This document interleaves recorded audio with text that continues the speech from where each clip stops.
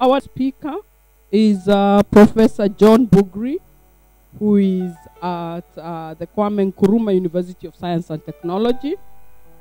And uh, he's going to be talking to us about the Ghana Commercial Agriculture Program. Professor Bugri, he's an associate professor of land and economy, and is currently the head of Department of Land Economy at uh, Kwame Nkrumah University of Science and Technology in uh, Kumasi. He holds a PhD from the University of Greenwich and an MPhil from the University of Cambridge, both in the UK, and also a BSc in Land Economy from uh, the Kwame Nkrumah University from Kumasi. He is particularly interested in people and land relations and the implications thereof for sustainable land use and development. Uh, he has done quite a lot of research looking at the political economy and the implications of changes in access to and use of land, resources on gender, and on livelihood and on sustainability.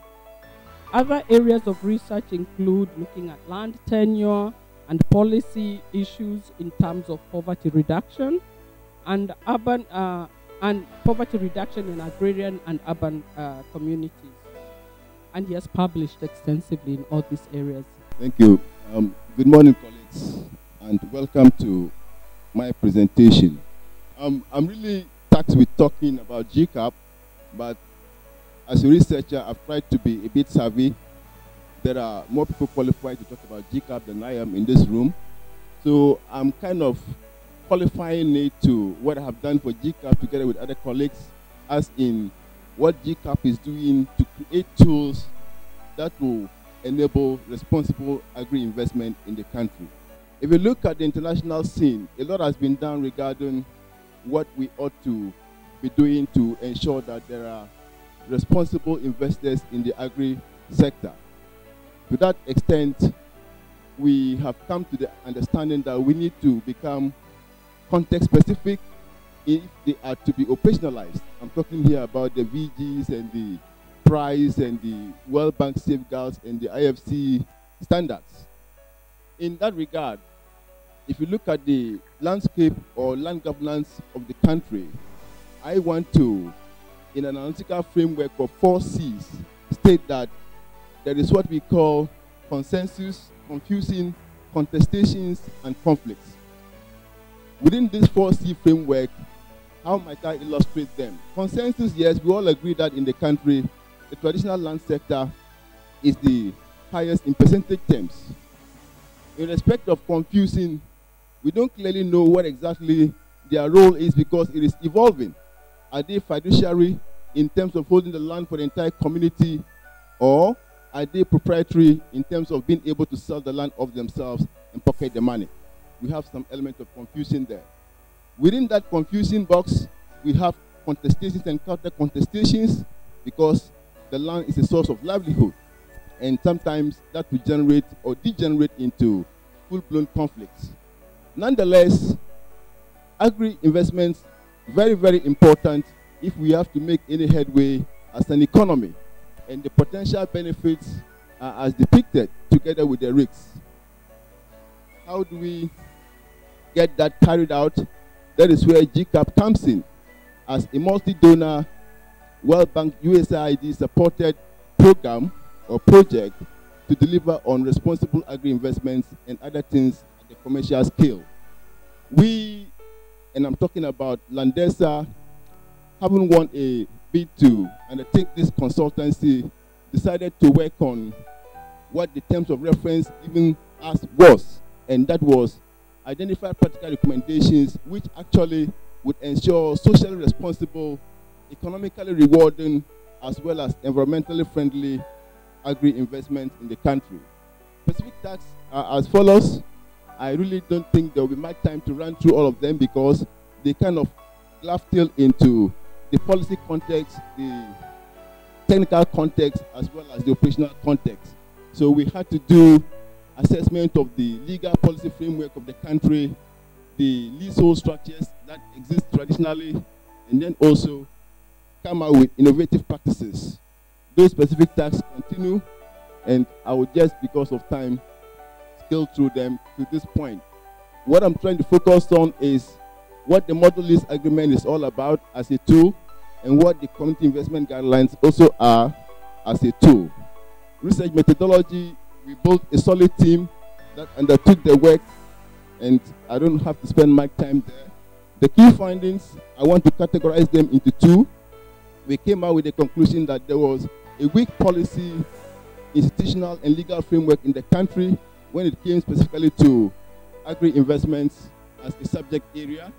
And the specific issues are embodied over there, incomplete policy framework, we have complex contradictory legal regime, insecure land rights, insufficient legal regulatory uh, safeguards, lack of coordination, insufficient institutional, financial, and human capacity, as well as sufficient lack of sufficient clarity to approaches for land registration.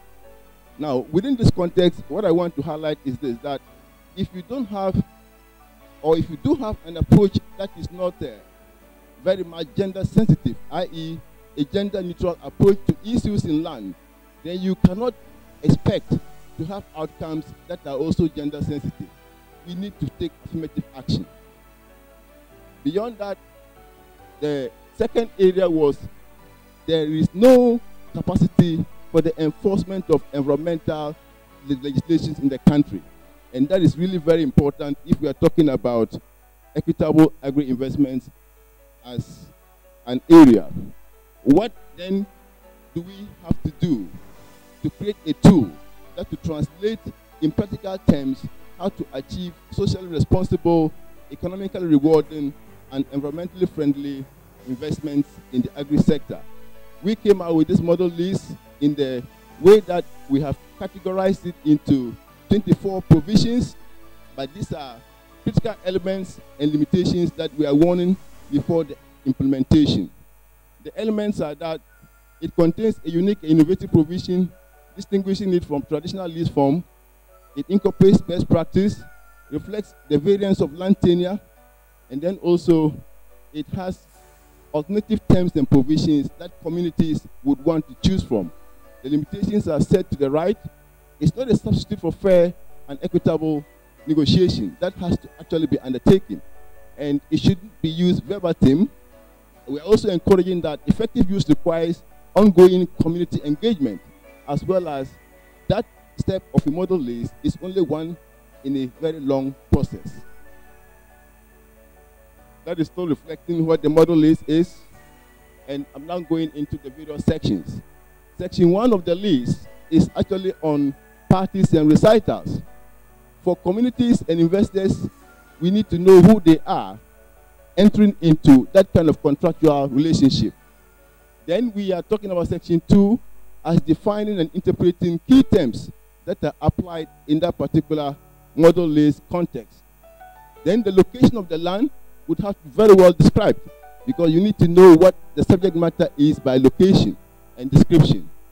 Indeed, anybody conversant with lease arrangements would have to agree that there must be a term and that particular term or duration has to be specified. But we also had section 5 dealing with the grant of rights. What rights are specifically being conveyed would have to be specifically made to the parties to know. And the key thing is section 6 financial compensation. We've talked about economically rewarding, and in that context, land is a primary asset of production that you are taking from a commodity. In that regard, you would have to compensate beyond just the fact that you are buying a market commodity. To that extent, we gave optional areas for consideration, and these were annual fixed payment. We also had areas to do with percentages of gross revenue so that the communities are being compensated with respect to a percentage of the company's gross earnings, as well as consideration was given to something that was referred to this morning, and it was the case of equity in use of land in arrangements like this. But it is actually left to the community to pick and choose what they want. Beyond these financial compensations, we talked about non-monetary benefits. That has to build capacity. So employment and training, outgrowth were very much suggested for consideration by communities. Other forms of compensation, corporate social responsibility that has to be very much highlighted in the company's engagement with the community where the land is located. And communication is a very key strategy if there is going to be avoidance of dispute or at least minimization of dispute. So we recommended that there has to be a very well worked out communication package in that particular agreement situation. Then we also did recommend a community land management committee. This is where the gender dimension played out very well. That numbers of committee members should necessarily include women to a reasonable number dependent upon the community that is involved. So within this five-phase framework, we have got community investor government roles assigned all through to the fifth stage, and I'm just now skipping through for want of time. Request that you do read. Then we would come to what I consider the conclusion, implementation, and next steps. We think that there is potential for improved agri-investment in Ghana, notwithstanding the complex nature of the land question.